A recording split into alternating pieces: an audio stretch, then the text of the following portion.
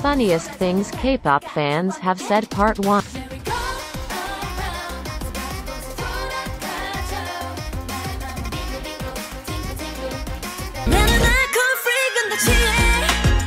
JYP Oppar deserves better. I know right, he's the most underrated member, he deserves better. Yes JYP needs more lines in Alcohol Free.